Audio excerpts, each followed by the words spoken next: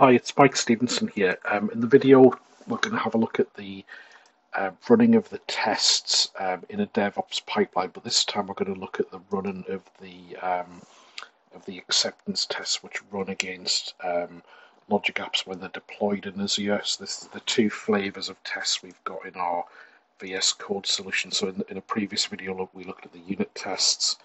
Here we're going to look at the acceptance tests here. So this is the ones where we deploy it to Azure, we run these tests, they connect to the management API for Azure, execute the workflows and, and check what's happening.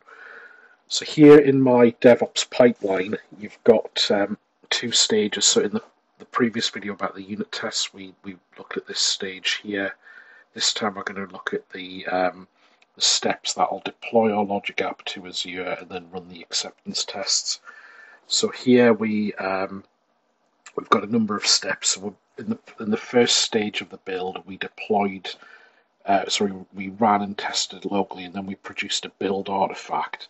And this uh, this stage here is going to pull down the build artifact onto the build agent, and then we're going to run the the task here to do the deployment to Azure. So we, I guess before that, worth noting, we just built the solution to make sure we've got the um, the acceptance test project's been compiled and built, ready to run. We then deploy the workflows out to Azure, and then we execute the tests. So the, the first thing to note is there's a lot less steps this time because we don't need to worry about the function core tools. We don't need to worry about Azurite? because the, the workflows aren't running on the build agent. They run in Azure. So we can just get straight to testing them here. And if you notice when I ran the tests, again like before, I've got the, the log and output showing what the result of each test was.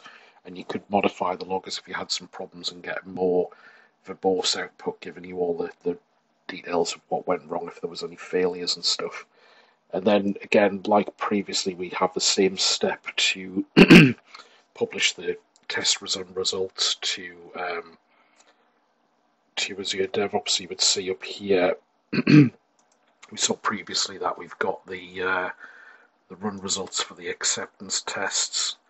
And you can see there's a, a list of them here and, and, what their outcome was. So we're in quite a good place. Again we've we've got two types of tests and we get the results in DevOps. That's you know ticks and boxes of good things we want to be doing so if we have a look at the pipeline now so we need to go down to the second job in this pipeline this is the one that deploys and runs the acceptance tests so we we um, pull the artifact down that the first job produced.